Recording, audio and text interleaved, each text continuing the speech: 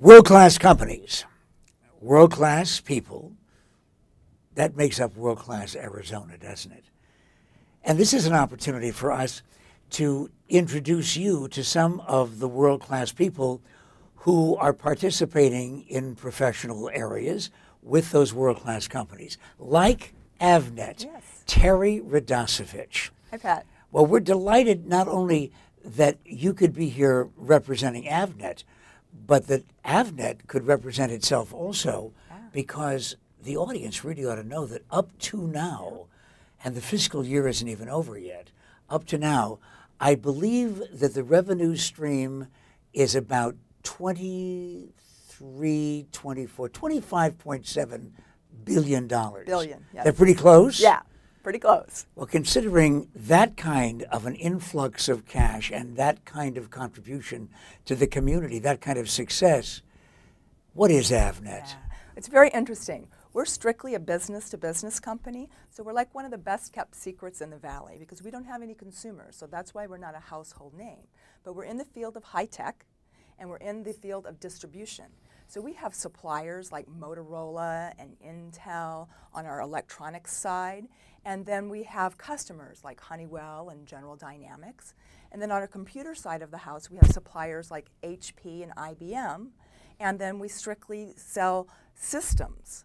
We don't sell to individuals, um, so that's why the community doesn't know Avnet intimately because they're not really our target market.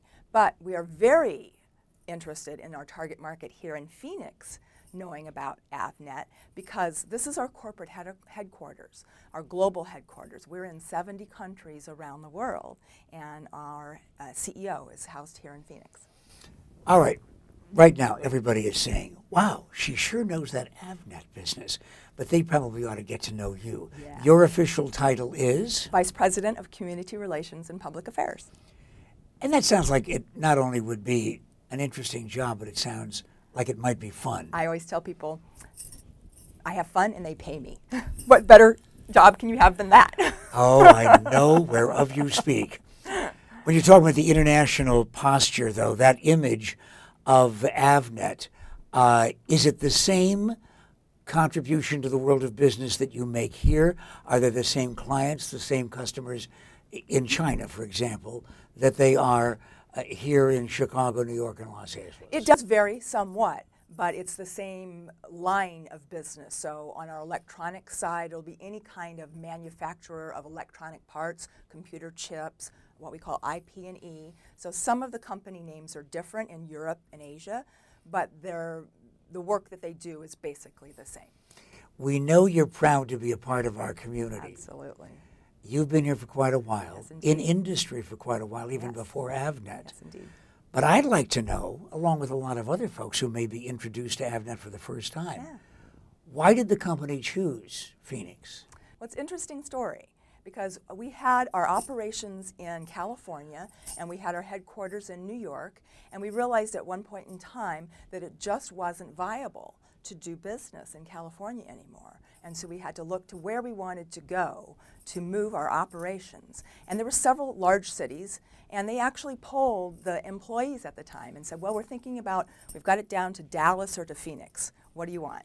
And the employees were like, Phoenix, overwhelmingly, they wanted to move to Phoenix. So they took both the headquarters and the operations and moved them here. And what's really interesting is we already had an existing warehouse system here. It's one of the largest warehousing facilities in the United States. At one time, it was one of the largest in the world. So it just made sense to move our corporate headquarters to a place where we were already involved with, we knew the community, we knew the area was wonderful and that the uh, talent pool was rich, and so it just made a lot of sense to move here. See, and this is one of our opportunities at KTAR.com to introduce you to just one of the parts of world class Arizona that makes Arizona world class. An organization represented here by Terry Radosevich, an organization called Avnet. And aren't you glad you found out about it here?